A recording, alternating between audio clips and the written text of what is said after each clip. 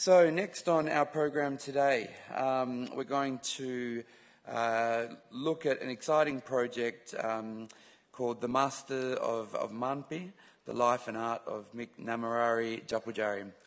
Tjapaltjarri was a Pintupi man born around 1923 and an award-winning Papunya Tula artist. The Master from Marnpi has been compiled by Alec O'Halloran uh, over the last decade with important contributions from Namarari's family um, and his wife Elizabeth Marks Nakamarra, who authorised and supported the book.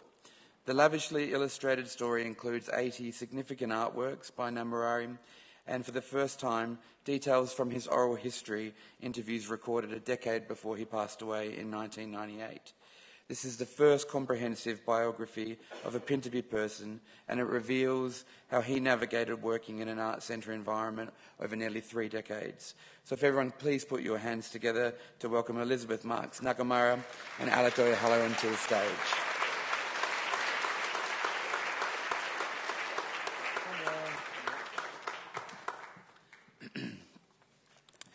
So Elizabeth Nakamarra currently lives in Kintore um, but has been a resident of Haasts Bluff, uh, Brownsboro, Papunya, uh, and Mount Liebig. Elizabeth has been an artist for Papunya Tula, artists for over 20 years and has travelled all the way from Kintore to be here today. Uh, Alec O'Halloran is a long-time supporter of Papunya Tula artists and the Purple House. His interest in Aboriginal art led him to his research project and field trips out west to learn about Tjapaltjarri and visit country of, with his relatives, including Elizabeth. So I'll now, now hand it over to you two uh, to take the stage. Thanks, everyone. Thank you.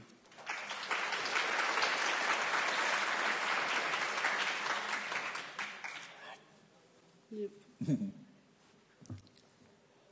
uh, hi, everyone. My name's Alec O'Halloran. I'm here from Sydney. And with me is Elizabeth, as, as you've just heard, all the way from Kintore, 500 kilometres west, for those of you who haven't, are not familiar with the local geography. Uh, Elizabeth's uh, been a Papunya Tula artist for a long time. Yep. Um, and we're here today to, uh, to introduce this book, uh, which you can see on the screen. See the TV? Mm. It's behind us. Um, Elizabeth, when you started painting, what's, what's the story that you put in your paintings? A lightning strike as my father's countryside. Okay. Which place is that for the lightning strike? Kalipinypa. Kalipinypa. On your father's side. Okay. Um, so today we're just going to be sharing some, some stories and pictures together. As you've probably worked out in the first five seconds, this is a fairly informal arrangement we've got going here. Uh, hasn't been a whole lot of rehearsal. So I've told Elizabeth I've got the notes and I know what's going on. So hopefully it works out that way. She's very amenable. Um, so firstly, I just wanted to acknowledge the traditional owners of this area and also the Pintupi mob out west and thank uh, Desart Araluen for making this uh, opportunity available and also Papunya Tula artists who uh, Elizabeth has been a part of for a very long time and they've been supporting me. Um, and going back to the earlier talk this morning, I didn't know the Australia Council was presenting, but they are, and the Australia Council uh, subsidised part of the production of the book. So, yay, Australia Council. And also thanks to um, uh, the Dialysis Centre here in Alice Springs, the purple, commonly known as the Purple House, or you can call it the Western Desert Nganampa Walytja Palyantjaku Tjutaku Aboriginal Corporation, if you wish to. Uh, you could just say Purple House. So they look after Elizabeth while she's in town. Uh, I'm also, with Elizabeth's help, want to say this for everybody.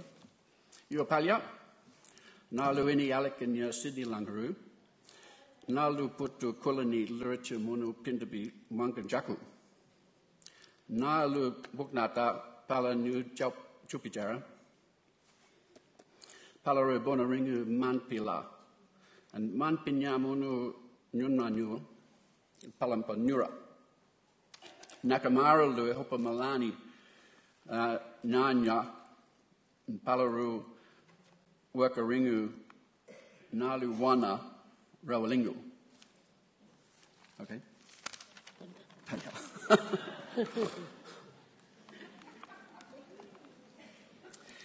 Um, so we're going to do a mix of things. I've got some slides coming up, so you've, you've not just got this one slide, but I wanted to read the introduction or the English part of the introduction that Elizabeth wrote for the book. Remember this one? Just English? Yep. Elizabeth says, Hello everyone. Yes, this story is from a long time ago about my husband when he was living and moving around every place to place.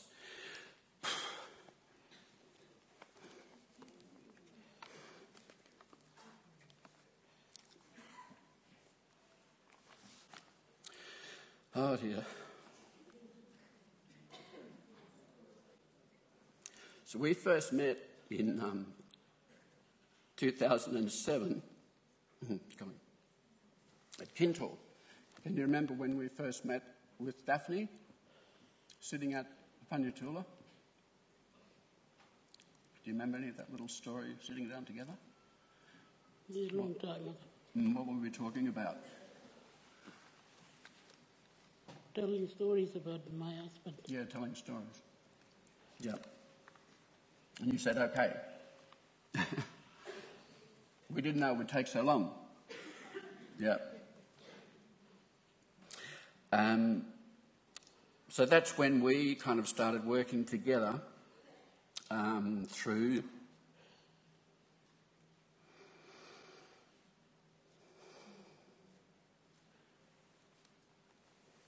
This is a bit silly. So we'll look at some pictures, all right? Can you see that one?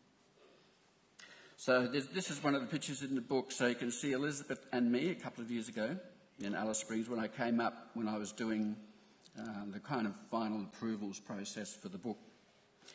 And the picture at the top is the old Papunya Tula uh, gallery, which is in which was in Todd Street, uh, along from the current one.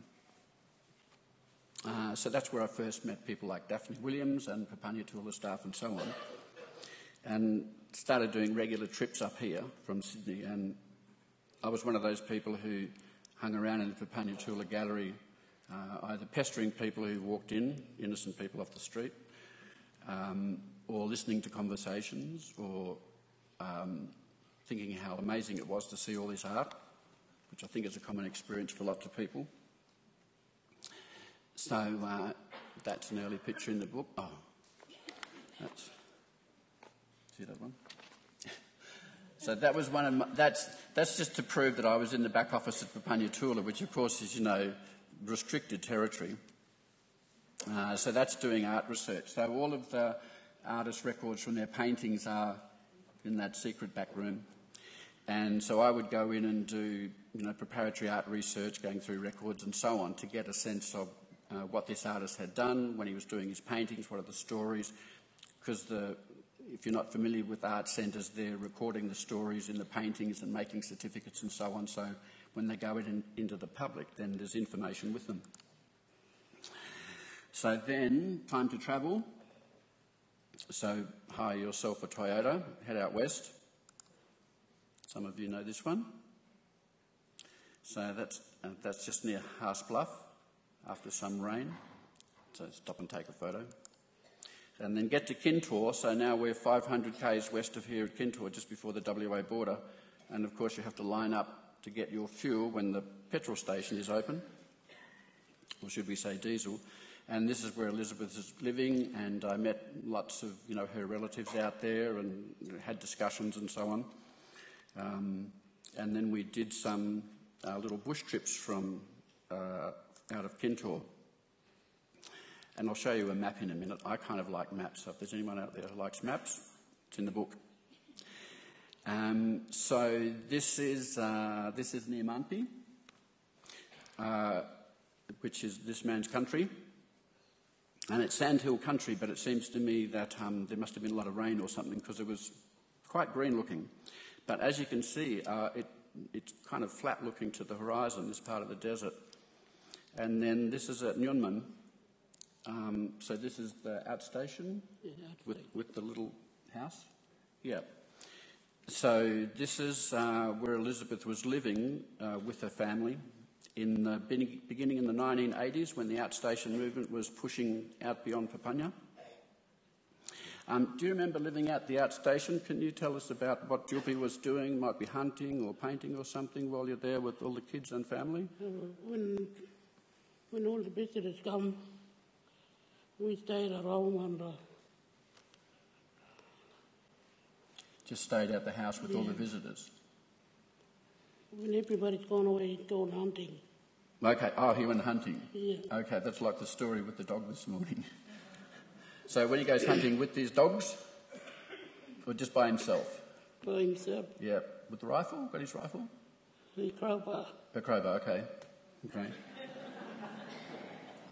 What's his, what's his favourite, what's the best food to come home when he's coming back from hunting to your house? The kawana and kangaroo sometimes, Yep, and a printing. and parenti. Yeah, like, the, like you saw in the film, some parenti and kangaroo.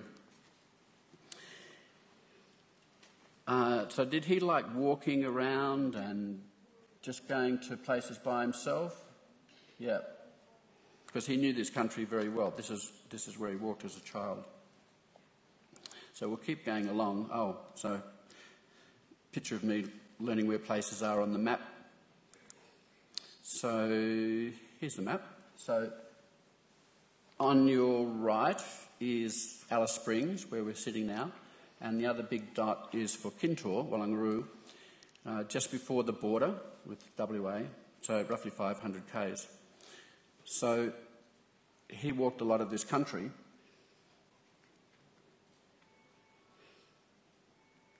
So which are the places that you lived? You lived beginning at Haasbluff, Houseflop, yep. Brownsville, Brownsboro, Mount Liebig, yep, and back to Papunya. yep. From there, they have, to have meetings to sort of get rid of all the people. Oh, really? Going back to settle down country. Yeah, yeah. So the meetings were in Papunya to think about West. Mm. So who made that decision to go back to country? All the old Chilpies who passed away. The Jilpis. So um, quite a few places I was lucky to go to on that map, which is good. So now we're in Kintore, and um, what does an art centre look like? Well, in the 1980s, 1990s, that was the famous Papunya Tula Art Centre. Uh, basically a shed with a little bit of accommodation on the side for the field workers as well. But this was typically called just a painting shed at, uh, at Kintore. And uh, Julpi liked to paint in here rather than sitting outside, but people would, would paint and sit outside as well. Can you remember him painting here, Elizabeth? He was sitting down by himself Himself. doing canvas. Hmm. No children around. Okay. What happens if the children come? Just make a mess. Oh. they might be cheaper. And, and so if the children come, does he keep painting or stop painting? Stop painting. Stop and put it away. Okay. You find out more of these stories in the book, of course, folks. Um, so that's where he painted. I'm going to come back to that on another slide. Uh, so a little bit of history. So in 1984, um, Chula uh, organised the first big exhibition in Alice Springs, which was right here. See the sign? Araluen Art Centre. Um, and beyond. And uh, Julpi had a major painting in here, which, which went into a private collection, and it's in the book. And then uh, this is a double page spread from the book. So on the left, on your left, this is uh, the Red Ochre Award from 1994. So Elizabeth and Julpi went to Canberra to, to get that prize. Can you remember that trip, Elizabeth, to Canberra and Sydney? Yep. What happened on that trip? We went there for him to collect a big check for fifty thousand dollars. $50,000 was the prize. yeah, so it's the biggest prize. And then you went to Sydney to see uh, Christopher's gallery exhibition of Julpi, yeah. We've got a, might have a picture of that later. And then you came home, what, what, was, what was the $50,000 for? He bought a La- Land Cruiser. Yeah, a new Land Cruiser. it's the best thing to get in Central Australia. Did he enjoy that trip to Canberra? Yeah. Met the Prime Minister, I think. Yeah. Yeah. Um, so we're jumping around, but in the preparation of the book, uh, I looked through lots and lots of uh, photographs of paintings and, and, painting records and so on. So then the, the, the publication people helped by doing this massive, uh, you know, printout of, of, different pictures. So that's just one sheet of, of so many of the uh, artworks in the book. And I'll show you a couple of paintings. So this is from 1973. Uh, this story is about caves and people and uh, water and a corroboree story. But there's not much more detail with it actually.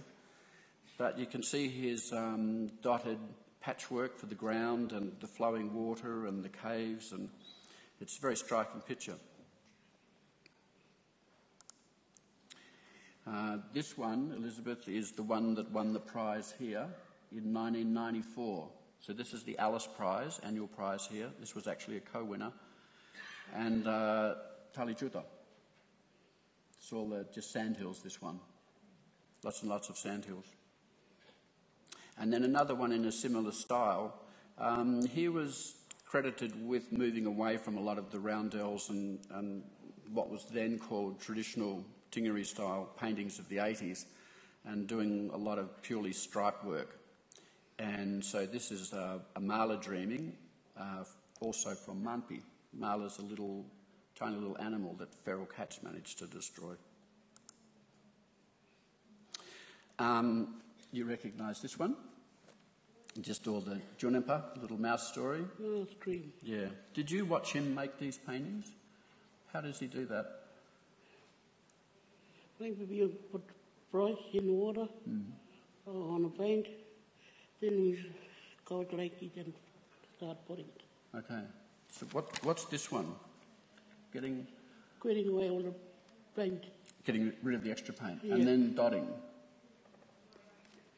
So he's dotting like this every day, every day, every day? Yep. So this is a little mouse that hops around and eats, um, eats berries called uh, Kamparapa or Akajiri.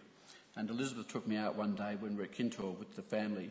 Um, we went out and we did a little uh, bush tucker trip. Can you remember? And you were showing me the bush with the little Akajiri berries. We had some. Yeah. Yep. And your daughter and granddaughter. Always family. Coming together, aren't they? Yeah. Yep. Oh, so this is one of the things in the book is that you can see that painting we just talked about, and there's Julpi finishing the painting in that shed. Remember the art shed at Papunya? So that's inside the shed. And it's winter because you can see the little heater at the side.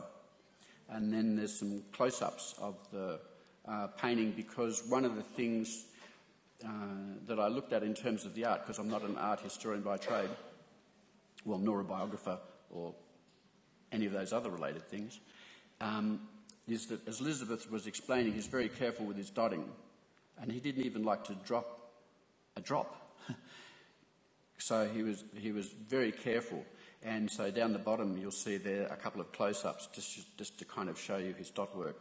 Um, people who are interested in studying uh, an artist's practice uh, will be looking closely at how they use their materials, how they use their brush, the degree of translucency in the paint, all those kind of things become uh, quite signatures for how the image actually produces its effect and why an artist who does a painting similar to that won't achieve the same effect because they're not using the same method down to the finest detail. So it's very interesting to learn, and, and, the, and the picture of the hand close up is his hand. Uh, that's just the outline of the contents of the book, um, uh, which is his life story and his art career, his relationship with Papunya Tula, uh, family stories from people like Elizabeth, grandsons and granddaughters, uh, kinship brothers. This was the photo I was talking about before. So this is the picture when you went to Canberra. Can you see that closely? So there's uh, you and Julpi and Faye Bell. She was the art centre manager. and Christopher Hodges because in Sydney he had an exhibition of his work. So they went there and then they went to the Australian Museum. You would just see down the bottom. And that painting that's in there is the one I showed earlier. That's in their collection. So they took uh, him in to have a look and to look at the other works in their collection. There's quite a substantial early Papunya collection. And the top right, you probably won't remember this one. so in 1986, uh, a researcher came out from the Australian Museum to consult with, with, uh, with, with this artist and others, trying to identify some of the works just to make sure they had the right annotations and, and things like that. So there's a lot of that story. That's my time. Um, so that might, oh, so that's, so anyway, this was me saying, you know, the job of the biographer is to look for the person in the distance, study, learn from people, and then get them up close. So that is that bell. That means we're finishing. That's okay. Can I just finish? I'm ready to finish. If you've, got, if you've got any last words, if you've got a few minutes. Last good. Um, so there's two things. So I just wanted to say that um, uh, today, if you do want the book, so this is the public release of the book, the launch of the book. So one thing is Elizabeth's here, so she's going to do book signing. Uh, that'll be your last chance. And also today I'm going to give the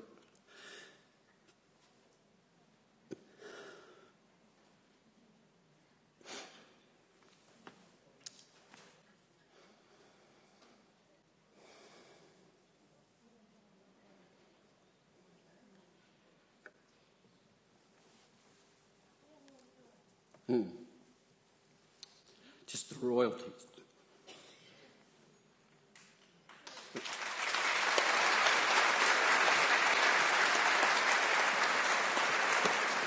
Yep. Um, yeah, thank you. Uh, just from today's book sales, so the royalties, which is, you know, no huge amount really, um, we'll give to Elizabeth family because she's got kids and grandchildren who always like to see grandmother and see if she's got a little something for them. So we're going to do that today. And the first book today is for Elizabeth and your family, from everybody here. This is for you.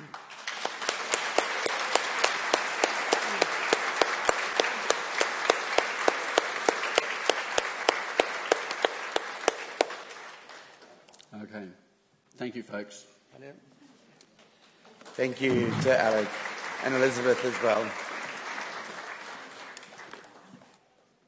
It's that kind of uh, generosity and commitment to sharing stories and helping each other to share them that keeps our industry so uh, vibrant and dynamic. So thank you both for, for coming on stage and, and sharing that with us.